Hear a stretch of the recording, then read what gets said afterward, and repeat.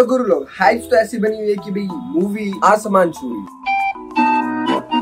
लेकिन लोगों ने इसकी बुराई भी साथ के साथ करना शुरू कर ही रखी है। बोले तो बॉयकॉट नेक्स्ट लेवल हो रहा है।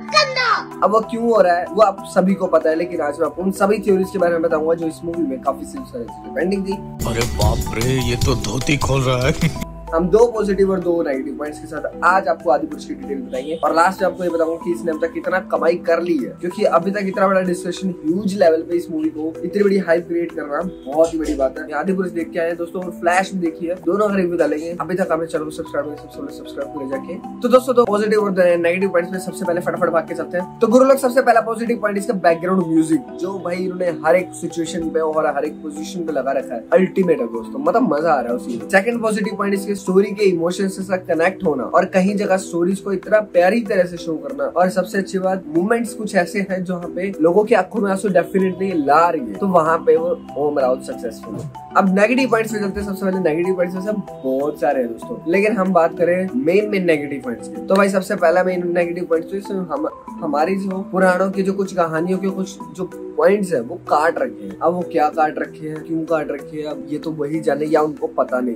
दूसरा नेगेटिव पॉइंट भाई, पहला ऐसा रावण जो कि हँसते हँसते मर गया। अब भाई लास्ट में उसने कितनी सारी बातें बोली थी। इसी सबसे बुरी बात ये लगी कि मेघनाथ और कुंभकर्ण के जो सीन्स थे, वो काफ़ी इजीली इन्होंने मतलब वनडे फाइट में कंप्लीट कर अब वनडे फाइट में कंप्लीट तो कर दिया बट कुंभकर्ण को उठाने वाला जो बहुत बड़ा प्रोसेस है, वो इन्होंने दिखाया भी दूसरी बात, रावण को मारने की जो एक प्रोसेस था कि भी उसकी नाभि के अंदर अमृत होता है, वो सब चीज़ें क्या क्या हमारे पुराण ये झूठे थे? अगर मैं एक्टिंग की बात करूँ तो सबसे अच्छी एक्टिंग हमारे सैफ अली खान ने करी है। टी शर्ट्स में है, लेकिन मतलब टी शर्ट वाला रावण मैंने ज़िंदगी में पहली बार देखा है। अक्सर होते हैं, वो हमारे लाइव रामायण वाले उसमें होते हैं, लेकिन ऐसा मतलब टीवी पे, अरे बहुत सारी न्यूज़ उस ऑलरेडी बन चुकी लेकिन मैं सिर्फ़ इतना ही बोलूँगा कि भाई टैटू वाले इंद्रजीत और शर्ट वाले रामायण को इग्नोर करके अगर आप इसके स्टोरी कॉन्सेप्ट पे जाओगे तो बहुत मज़ा आने वाला है। लेकिन सबसे अजीब रिएक्शन पब्लिक ने दिया है। अब पब्लिक इसको प्यार भी दे रही है और हेट भी दे रही है।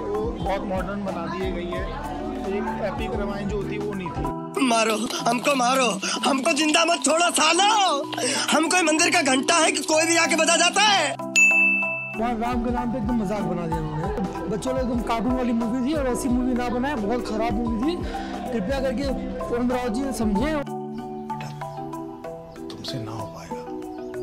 वही कैरी की इस पिक्चर को बिल्कुल मत देखना चाहिए वो क्यों ना देखना चाहिए ये तो माइक लेकिन ओम रावत अपना बेस्ट टू भी बेस्ट दिया, क्योंकि भाई, वो जितना बेस्ट दे सकता था, उसने अपनी स्टोरी में डिफाइन करा अब भाई, बात करें कमाई की तो अभी तक इसने भाई ऑलमोस्ट तीन लाख टिकटें बेच चुकी है, और उसके बावजूद भी कल की अगर बताएँ तो वो भी एडवांस काफ़ी सारे बुकिंग थे। लेकिन मुझे ये सब चीज़ें काफ़ी फेक सी लगी, क्योंकि वेबसाइट्स पे, सोलह हज़ार ओवरसीज पे, ये सब चीज़ें शो करते हुए फेक सा लगा। कल मेरे ही शहर में, रात के शो में, नीचे वाली सीट सारी खाली। मतलब क्या कलेक्शन अच्छा ये नहीं है तो आप, आपको कैसी लगी है मूवी मुझे कमेंट करके बताइए। लेकिन हाँ ऑनेस्ट रिव्यू यही है कि भाई मूवी आपको घर बैठ के देखने का इंतज़ार करना चाहिए वो भी ओटीटी के लिए। क्योंकि उस लेवल की मूवी शायद मुझे लगी नहीं। अगर वीडियो अच्छी लगे तो कमेंट करके बेशक जाइए। और यहाँ आपको अशोक टू का रिव्यू दिखेगा वो देखिए और मज़े लीजिए।